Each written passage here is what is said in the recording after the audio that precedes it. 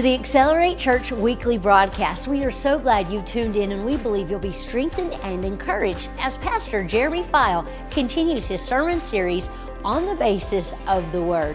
Get a notebook, get a pen, get your Bible, and be ready to receive right now as we tune in to this service already in progress. David is called a man after God's own heart in Psalms 89 and Acts 13.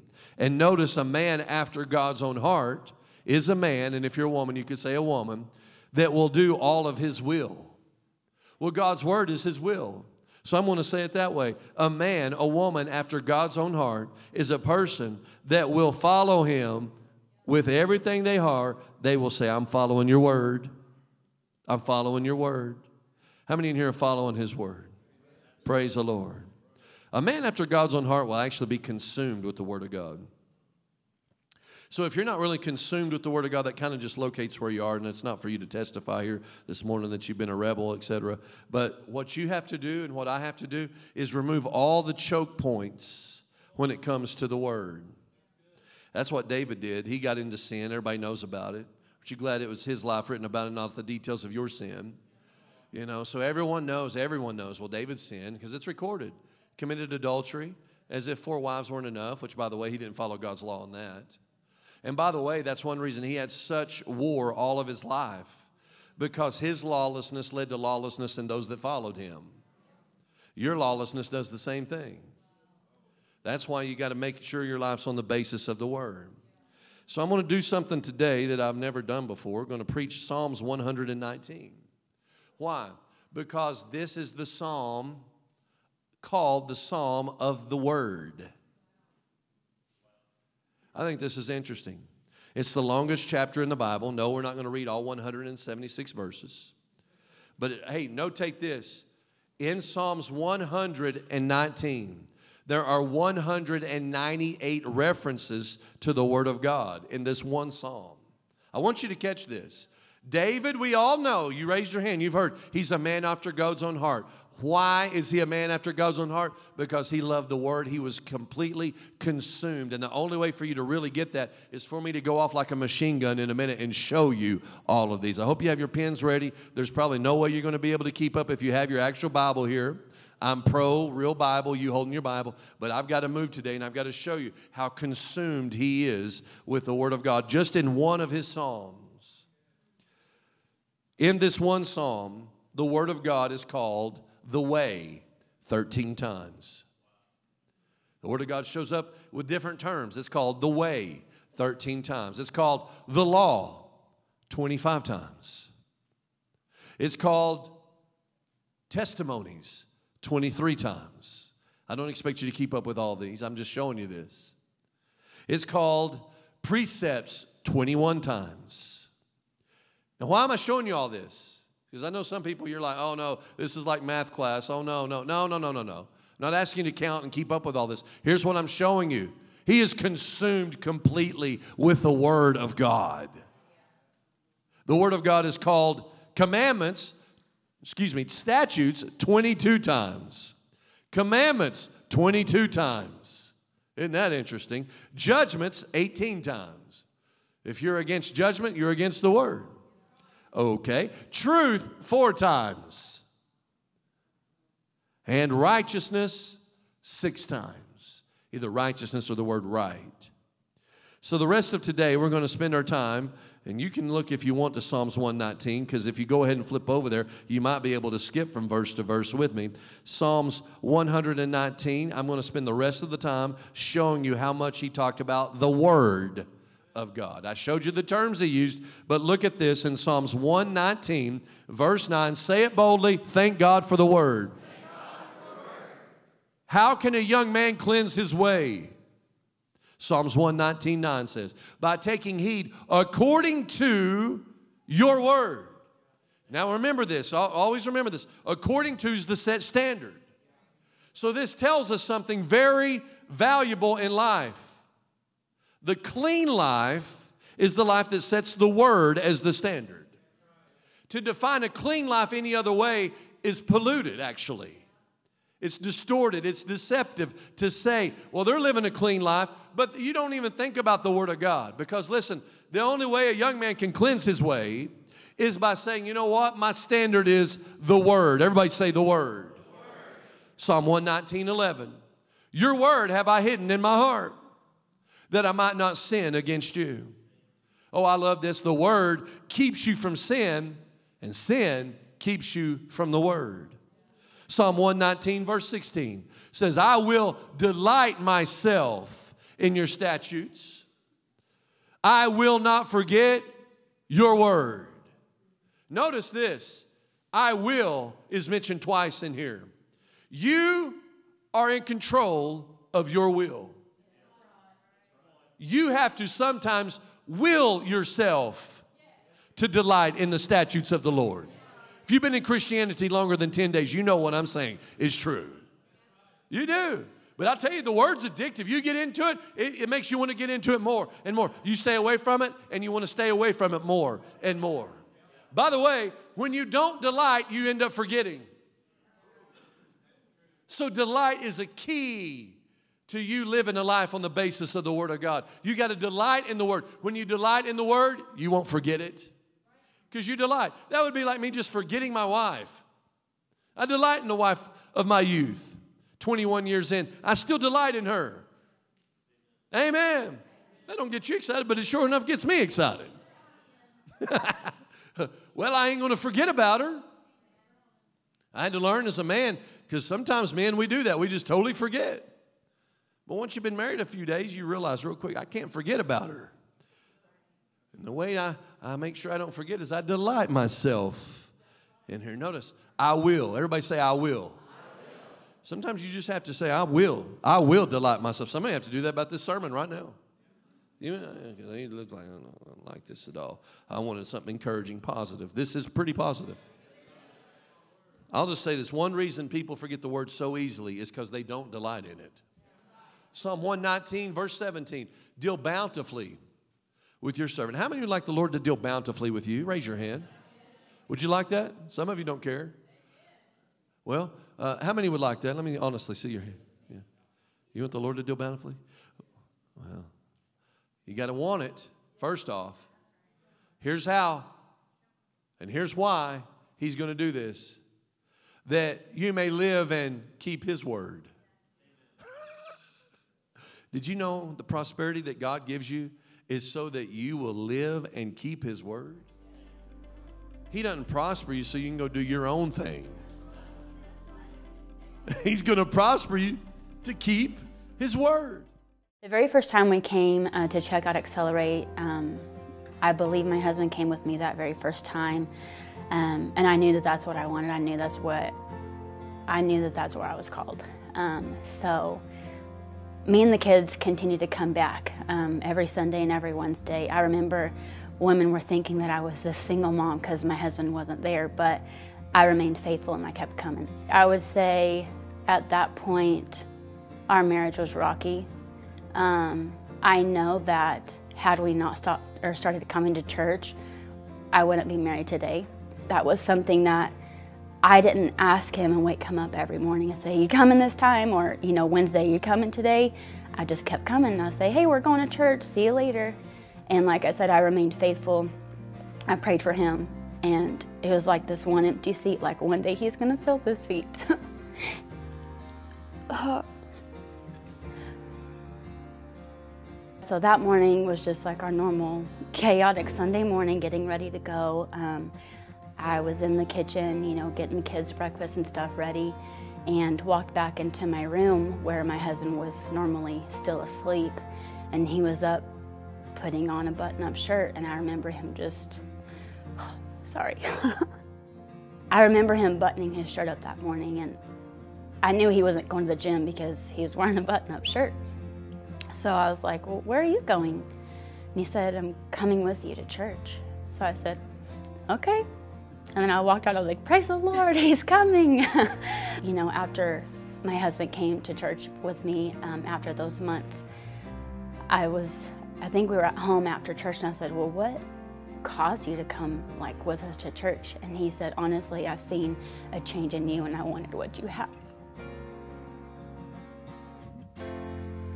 I would say right around that time, um,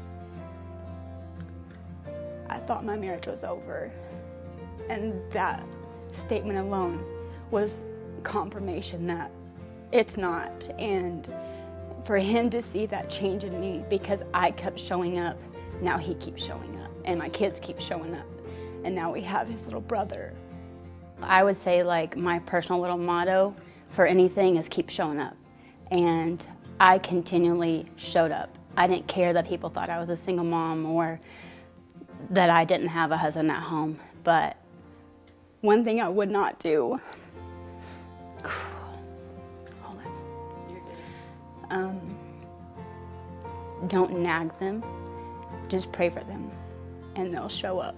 And that's that's another thing too. It, you showing up and being faithful is going to change the trajectory of everyone behind you and everyone after you because one little thing that I had in my mind to remain determined and to keep showing up, it changed my family. It brought me and my husband closer together. It has really strengthened our family. Like I said, we have custody of his little brother now. So now we're changing his trajectory and those after him. We have custody of my stepdaughter. We're changing the trajectory of her life. So you remaining faithful and diligent is going to affect more than just you.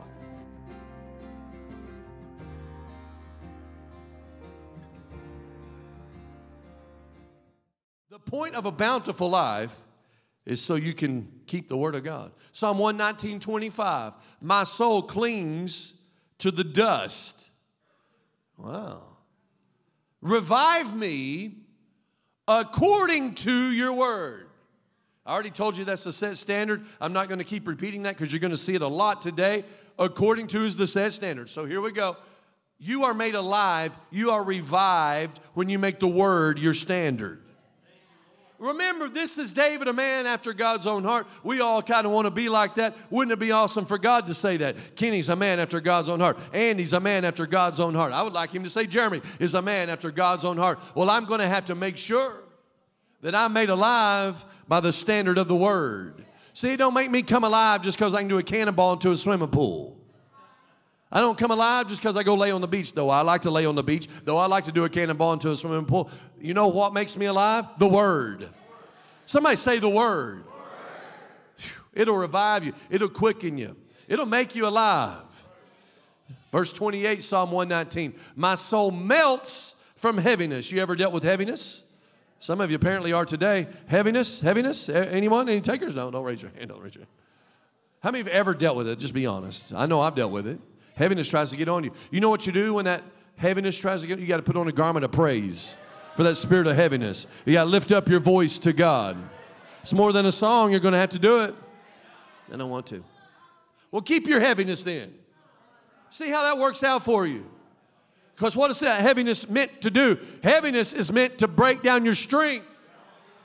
My soul melts from heaviness. Strengthen me according to your word. Woo! Your strength to make it through all the heavy things of life is found in living according to the Word of God. Verse 38 Establish your word to your servant who is devoted to fearing you. I like that. Establish your word. Make it my firm foundation, fixed a part of me. My right hand is fixed everywhere I go. I want the word to go everywhere I go. Somebody say, Amen. Verse 41 Let your mercies come also to me, O Lord. Your salvation according to your word. Oh, listen to this salvation from whatever you face, it, it comes only when the word of God is your set standard. Did you catch that? Salvation comes only when the Word of God is your set standard. Verse 42, Psalm 119. Y'all enjoying this? Could do every single verse, but we'd be here a while. Some of you are like, we're going to be here a while anyway. Well, I'm a lot closer to being done than you realize. I like this Psalm 119, 42. So shall I have an answer for him who reproaches me, for I trust in the economy. See, you don't even have a verse for that. People are consumed with that. And I understand you have investments, you want to see what the NASDAQ's doing. But no matter what the NASDAQ is doing, you got to get your trust in the Word. Everybody say the Word. Word. Notice this your answer is always found when you trust in the Word. It's amazing till you transfer your trust into the Word, you won't have an answer for a lot of people. But when people reproach you, you know what you do? Get your trust solidly on the Word. The answer for all of life's toughest questions are in the Word. Verse 43 Take not the word of truth utterly out of my mouth. How many y'all understand the devil knows Scripture? So, what's he going to do? Try to get the word out of your mouth. His whole plan is dependent on him getting his thoughts in your mind and you speaking them. Oh, what's that pain? Oh, no, I hope that don't kill me. Oh, no. Yeah, I could give you all kinds of examples.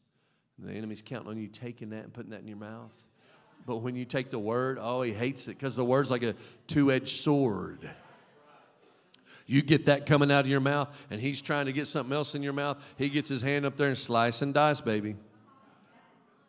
The devil ends up leaving people alone that keep the word in their mouth. He gets tired of messing with them. He thinks so that you are going to be like so many other people that go by what you see out here, go by the circumstance, go by your hurt feelings and everything else, and drop the word. Don't drop the word. Keep the word in your mouth. Look at this. For I have hoped in your ordinances. I want you to take note of this. Speaking the word produces hope. So if you're in a hopeless situation, you need to speak the word. Speak the word. What happens? It produces hope. Even when there's no hope. Think of the scripture about Abraham.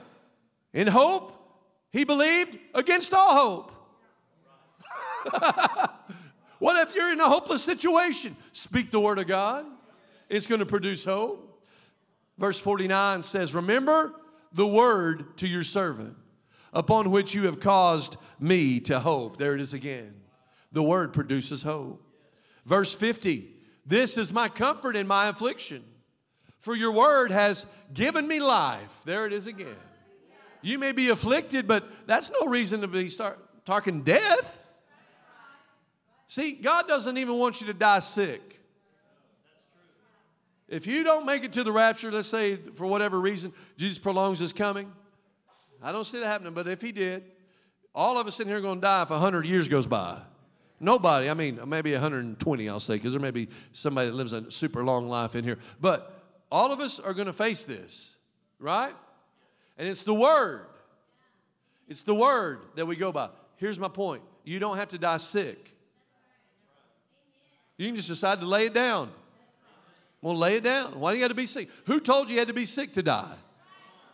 See how that comes in? The enemy comes, you got to be sick. No, listen, now there's a lot of sick people that have died, but you don't have to be sick to die. You just lay down your life by faith. Go on to heaven. I prayed for people to do that. They're ready to go. I prayed for them just to go on by faith. Huh. Many are the afflictions. Here's another scripture. Many are the afflictions of the righteous, but the Lord delivers them out of them all. I've been delivered. How do I know that? The Word. On the basis of the Word. Yeah, well, who do you think you are? I'm just a believer of the Word. Just catch this. Verse 50 This is my comfort read over it kind of quick, but I want you to know this. Comfort in affliction is found in the Word. So when you're in a battle, you need to know this. It's not the time to stay away from the Word, it's the time to get into the Word like never before. Those times in your life when feelings are screaming at you to stay away, don't do it then. Press in like never before. Accelerate Church places a high priority on instilling God's Word into the heart of the next generation. Our kids' ministry is spreading hope by teaching the Word of God on a level that young ones will understand and take home with them. In Accelerate Kids, your kid will experience awesome praise and worship, illustrated sermons from God's Word, and interactive games in both big and small groups. Serving God is fun, and we would love for your kids to join us at Accelerate. Word is life to those that find it. Praise God. Verse 58, got to keep moving. I entreated your favor with my whole heart. Be merciful to me according to your word. There's a lot of people that have presumed upon the mercy of God. Is He merciful? Yes, He is. Are His mercies new every day? Yes, they are. But to live a presumptuous lifestyle is to live a dangerous lifestyle. If you want to find mercy according to the word, here's what you stumble across a scripture such as Proverbs 28 that says, He will have mercy upon who on those who confess and forsake their sin. but see, it doesn't say anything about merciful to those that just live and don't forsake their sin or confess it. Don't acknowledge, they just live. Well, he's merciful, he's going to be merciful to me. You're presuming upon this, and that's a very dangerous way to live. Be merciful to me according to the word. That's the standard. Yeah. Verse 65 You've dealt well with your servant, O Lord, according to your word. Just, just notate this God only deals with people on the basis of his word. That's why we have to take the series like this serious. Say, you know what? I'm not going to live any other way but on the basis of the word. This is the only way God is dealing with his people. Verse 67 Before I was afflicted, I went astray, but now I keep your word. Boy, David was being honest right here. When you live outside the parameters of the word of God, that's called going astray. Don't define it any other way. You're going astray, brother, sister, when you're not going according to the Word of God. Are you starting to catch the drift here of maybe why God was like, that David is something special? For him just go on and on and on about the Word like this. Wow, what's his deal anyway? Oh, he's a man after God's own heart. Verse 74 Those who fear you, Lord, will be glad when they see me. What? What? Because I've hoped in your word. When you hope in the word, it causes those that fear God to be glad when they see you. Hey, don't worry if rebels aren't happy to see you. See, everybody's worried about that. Well, what's the world going to think about that? They already think you're in that case, you're in church. Don't you understand that? You're in that case. According to the world, not the word.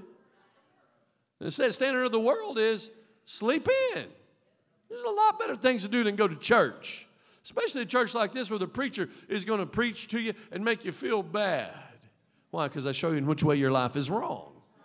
Not so you're condemned, but so you change before you take your last breath. You got to make the word your standard.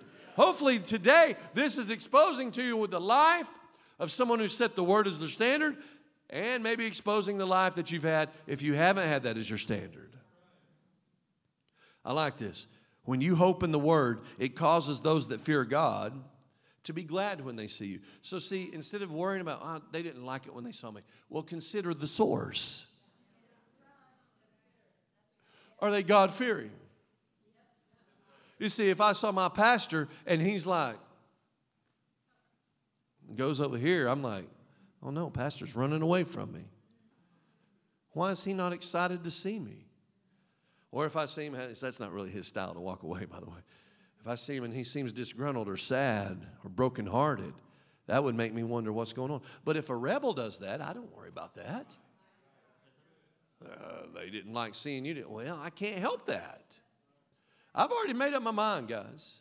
No matter who it separates me from, who it puts me with, I'm following the Word of God for the rest of my days. And as for me and my house, we're going to follow that. You're in my household, you're going to follow the Word, period. you ought to be concerned if it's godly people that fear God. And they're not happy to see you. But I just got to, I got to tell you this. When you set the Word of God as your standard, those that are following God's Word are going to be happy to see you every time. Every time. All right, verse 76. Let, I pray, your merciful kindness be for my comfort, according to your word to your servant. See, I love this. The reason he's a man after God's own heart is because he continues to go back. My standard is the word. My standard is the word. My standard is the word. I know that's how your merciful kindness is to me. It's according to the word.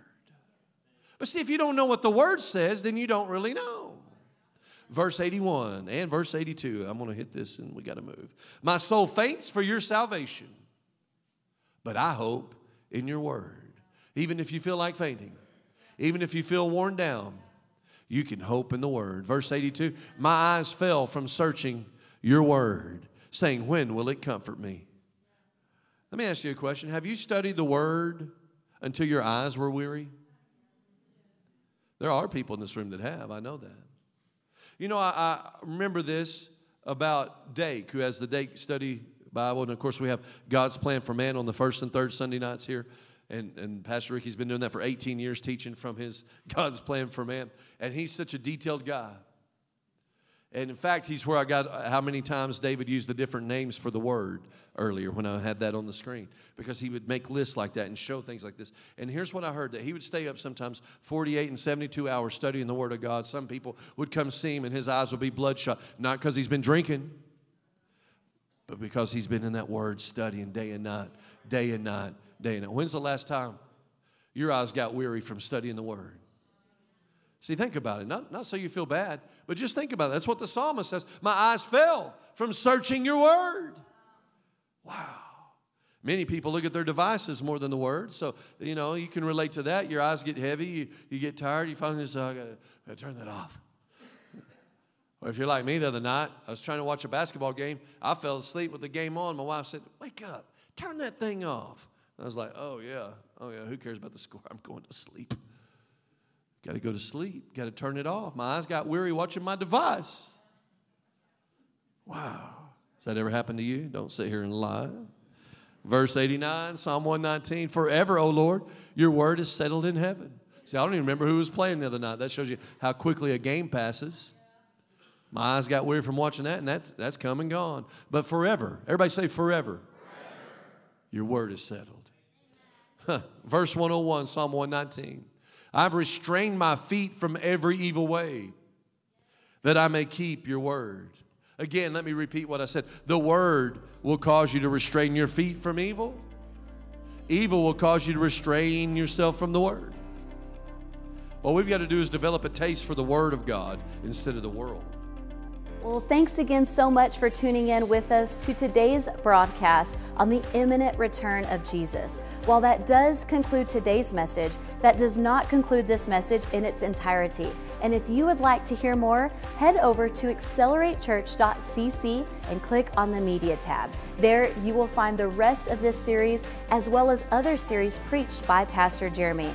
Or if you are in the Amarillo area, we would love to meet you in person. We're located at 4400 South Crockett Street here in Amarillo. Our service times are Sunday morning at 10 a.m. and Wednesday evening at 7 p.m. If you're not in the area, we would still love to hear from you. You can write us at info at acceleratechurch.cc. We would love to hear from you, pray with you, encourage you. You can even give us a call right here at 806 418 8913. We can't wait to hear from you and see you on the next television broadcast.